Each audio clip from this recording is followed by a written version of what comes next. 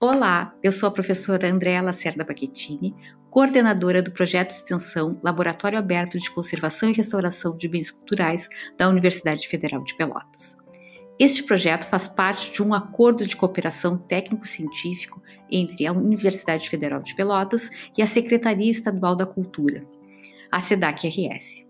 No projeto, estamos restaurando duas obras de grandes dimensões pertencentes ao acervo do Museu Histórico Farroupilha da cidade de Piratini.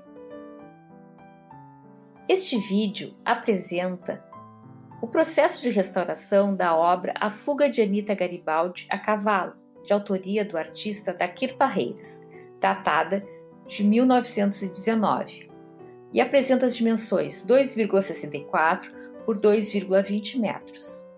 O proprietário é o Museu Histórico Farroupilha da cidade de Piratini. A técnica executada foi o óleo sobre tela. O processo de restauração aconteceu nas dependências do Museu do Doce, onde funciona o Laboratório Aberto de Conservação e Restauração de Bens Culturais da Pró-Reitoria de Extensão e Cultura e do Instituto de Ciências Humanas da UFPEL. Takir Parreiras nasceu na cidade de Niterói, no Rio de Janeiro, em 1894 e faleceu na cidade do Rio de Janeiro em 1967.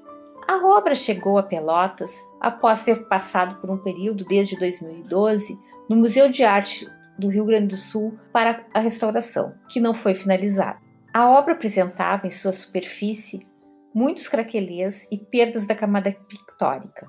No verso da pintura é possível observar o bastidor de madeira original e também as inscrições no verso da tela, onde aparece assinatura e também a data e esboço de patas de cavalo.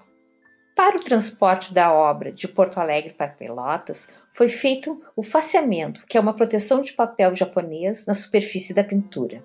Foram feitos exames com luz direta, luz rasante, luz transversa e luz ultravioleta.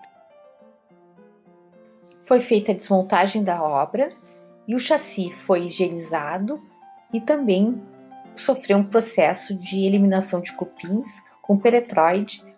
No bastidor ainda foram feitas obturações com serragem e cola nos orifícios da madeira. Foi aplicado fungicida preventivo e uma camada de cera microcristalina para a finalização e proteção do chassi. O verso da pintura foi higienizado com pó de borracha e também foram feitas as obturações a obra apresentava remendos no verso oriundos de intervenções anteriores, que foram removidos com auxílio do bisturi e com suor embebido em álcool etílico. O preenchimento das obturações do suporte têxtil foi feito com polpa de linho em primal espessado. Enquanto o papel japonês era removido da superfície da pintura, era preparado o tecido para o rentelamento.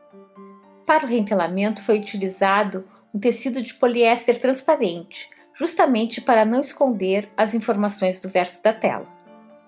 O tecido do rentelamento foi estirado em um bastidor provisório para ser preparado com três demãos de primal.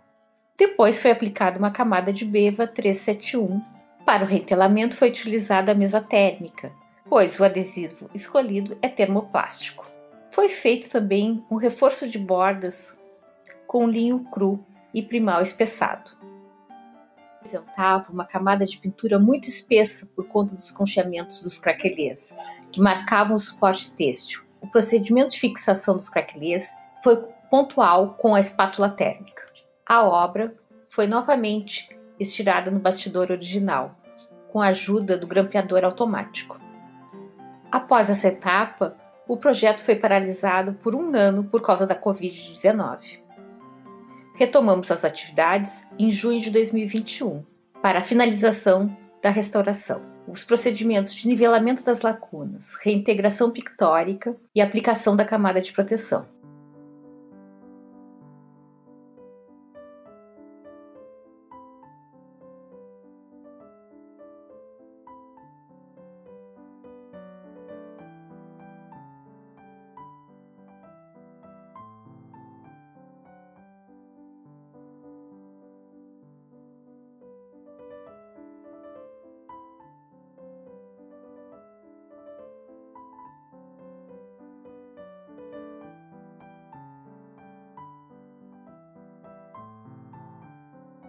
A moldura da obra também passou por processo de restauração, recebendo folhas de ouro com a técnica do douramento.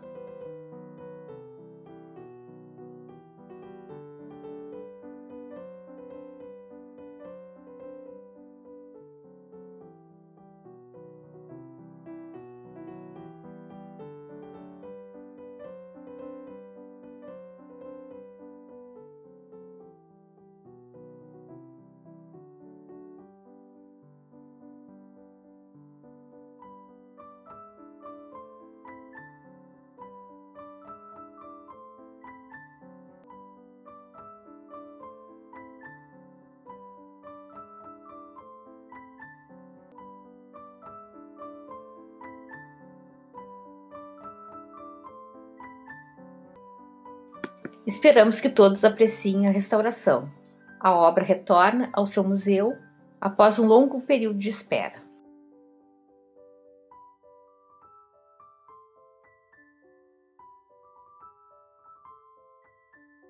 Fica o nosso agradecimento a todas as pessoas envolvidas no projeto